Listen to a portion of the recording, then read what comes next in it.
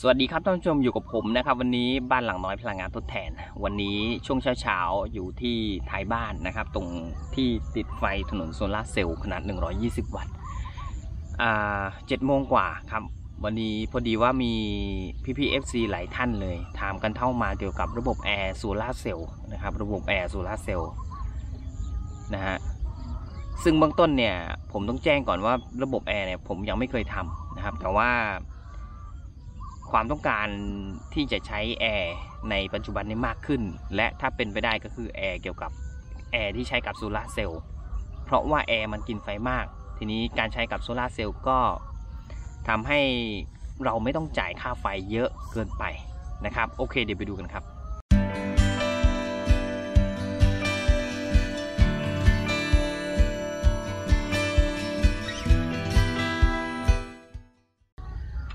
วันนี้เมนูเช้าก็น้องเพิงนะครับน้องเพิงก็คือแฟนผมนั่นแหละนะฮะวันนี้เขาทำอ่าแพนเค้กแพนเค้กนะครับ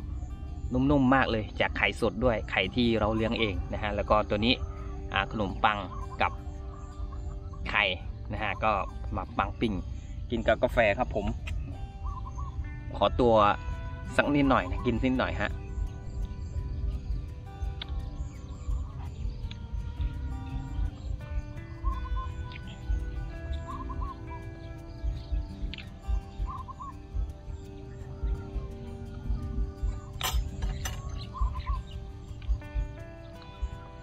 เรามาเริ่มต้นกันเลย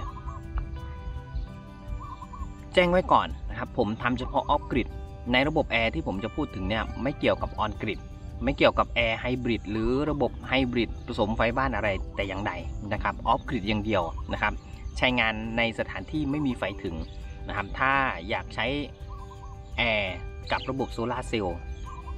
ท่านเริ่มไปเลยแอร์เนี่ยตัวนี้ผมจะยก 9,000 BTU พอนะครับ เพราะว่าผมยังไม่มีประสบการณ์นะ แต่ว่านี่ตามความรู้ความเข้าใจที่เราพอที่จะเอามานำเสนอให้ได้ โดยที่งบประมาณเนี่ยมันก็สูงอยู่นะฮะมันก็สูงอยู่ แต่ถามว่าคนจะใช้แอร์โซลาร์เซลล์จริง ๆ แล้ว มันต้องเข้าใจอยู่แล้วว่า ต้นทุนมันสูงเราต้องมีเงินในต้นทุนนะประมาณหนึ่งนะฮะก็คือหลักแสนนั่นแหละนะฮะ แอร์9,000 BTU โดยเฉลี่ยแล้วมันจะกินไฟชั่วโมงละประมาณพันกว่าวัตต์นะครับพันหนึ่งร้อยพันสองร้อยกว่าวัตต์ประมาณนี้นะฮะอันนี้ผมยังไม่เคยคลิปแอมดูนะ ตามศึกษามาจากการกินไฟของมันนะลองเข้าไปดูในใน Google ในอะไรก็ได้ก็จะมีหลายท่านทำไว้อยู่นะฮะทำไว้อยู่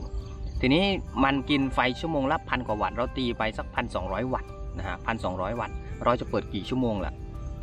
นะฮะอันนี้ผมโดยส่วนมากผม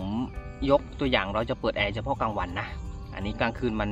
มันค่อนข้างสูง ต้นทุนสูง เพราะว่ากลางคืนไม่มีมันลากยาวอะ มันไม่มีไฟจากแผงช่วยมา support มันจะดึงแบตเตอรี่อย่างเดียวนะฮะ แบตเตอรี่อย่างเดียวนะฮะ ในกลางวันเนี่ย เราเริ่มที่ 9 แผงนะครับ เริ่มที่ 9 แผงไปเลยนะฮะ 9 แผง ถามว่าแอร์กินไฟชั่วโมงละ 1,000 วัตต์นะฮะทำไมเริ่มถึง 9 แผง แผงละ 300 กว่าวัตต์ขึ้นไปนะฮะตีไปแผงละ 330 วัตต์แล้วกัน 330 วัตต์9แผงในชั่วโมงหนึ่งอะช่วงที่แดดดีๆ มันก็จะผลิตไฟได้ 330คูณ9ก็จะประมาณ 2,000 กว่าวัตต์นะครับ2,000 กว่าวัตต์แต่ทั้งนี้ทั้งนั้นการคิดคำนวณเนี่ยแผงโซลาเซลล์เราคิดคำนวณพลังงานที่ได้จริงๆเนี่ยแค่ 75-80%ก็พอ เราเอามาคำนวณโหลดของเราเนี่ย ไม่ใช่ว่าแผง 330 วัตต์ผลิตไฟได้เราคำนวณไปเลย 330 วัตต์ไม่ใช่เอาคิดแค่ 70ถึง80%ก็พอนะครับเพื่อความสูญเสียเพื่อการผลิตไฟคือมันไม่ร้อยเปอร์เซ็นต์นะครับมันจะผลิตได้ไม่เต็มที่ขนาดนั้นนะฮะเราคิดไปอย่างนี้ก็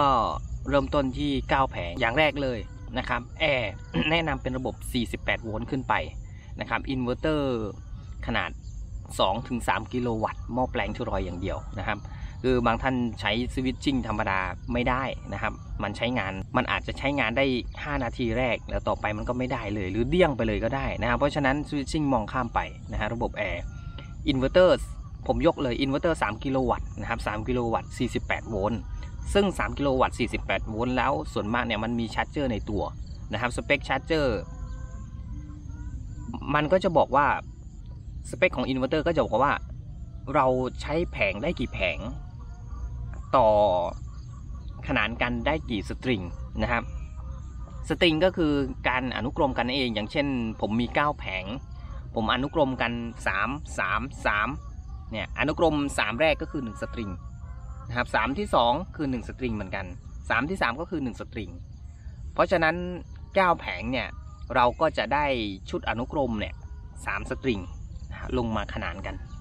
นะครับลงมาขนานกันแล้วแบตเตอรี่เนี่ย ใช้แผงใช้ 9 แผงแล้ว แบตเตอรี่ใช้ 100 แอมป์ 48 โวลต์นะครับ 100 แอมป์ 48 โวลต์ขึ้นไปนะครับ ขึ้นไปอันนี้กรณีเราอยากบ้านสวนเล็กๆ ไม่ใหญ่มากนะครับ ผมก็เสนอในชุดที่บ้านเล็กๆอะบ้านไม่ได้ใหญ่นะครับเป็นแบตลิเธียมไปเลยนะฮะ อันนี้เสนอเป็นแบตลิเธียมนะครับ เพราะฉะนั้นเราก็จะได้แผง 9 แผง 330 วัตต์ 9 แผง อินเวอร์เตอร์หม้อแปลง 3 กิโลวัตต์ 48 โวลต์1ตัวนะฮะแบตเตอรี่ลิเธียมนะฮะอันนี้ยกเป็นลิเธียม NMC นะครับ100 แอมป์ 48 โวลต์1ชุด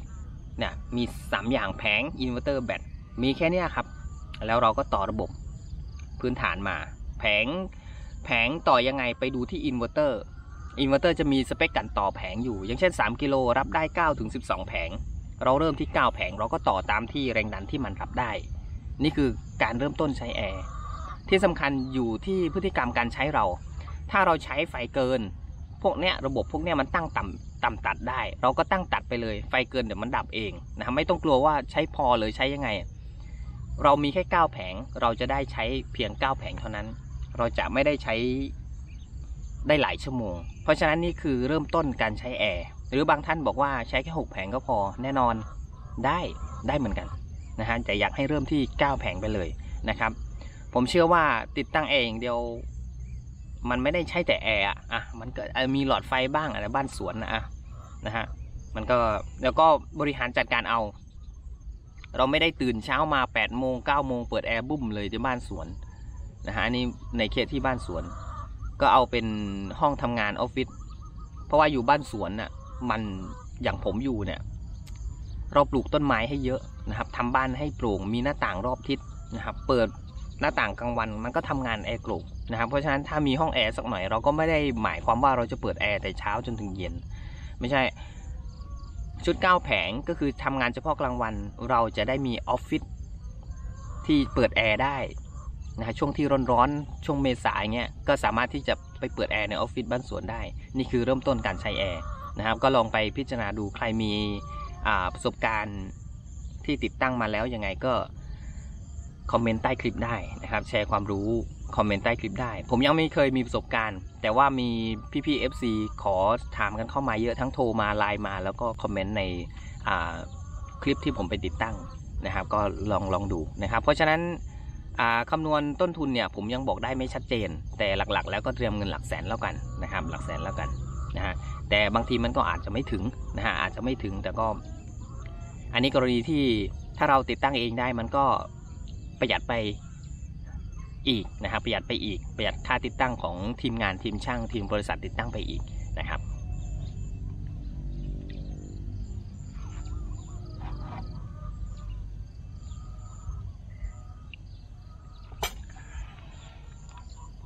ส่วนเรื่องราคาอุปกรณ์นะครับ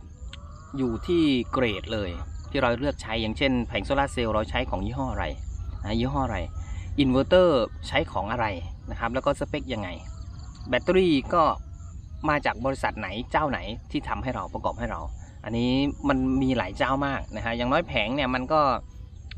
มันก็ถูกลงแล้วแหละเออเราจะบอกว่าโอ้ใช้ถึง 9 แผงเลยเหรอแต่ว่าก็แผงมันถูกลงแล้วนี่นะแผงมัน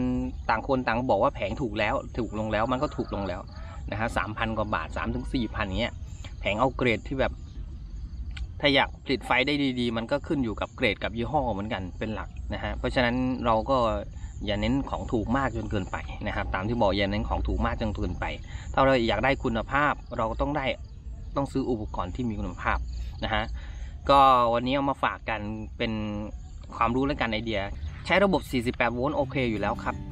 ถ้าเราใช้ระบบ 24 โวลต์อนาคตเราใช้ไฟเพิ่มมากๆเนี่ยเราก็ต้องอัพเป็น 48 โวลต์เพราะฉะนั้นระบบแอร์มันกินไฟมากอยู่แล้ว ท่านลงที่ 48 โวลต์ไว้เลย แล้วก็อุปกรณ์ทุกวันเนี่ยมันมันสำเร็จมาค่อนข้างเยอะอย่างเช่นอินเวอร์เตอร์ก็มี charger ในตัวนะครับเราก็ต่อ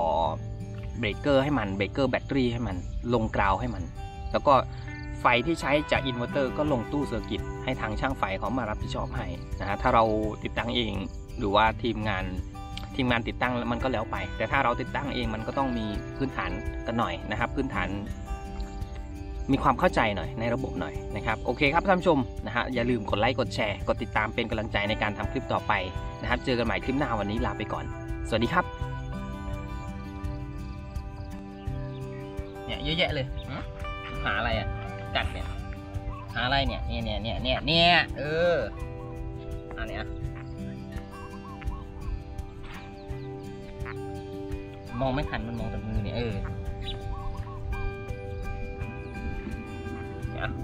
นี่อันนี้อีกอะอ่าเอาไปหมดเลยเนี่ยเนี่ยเนี่ย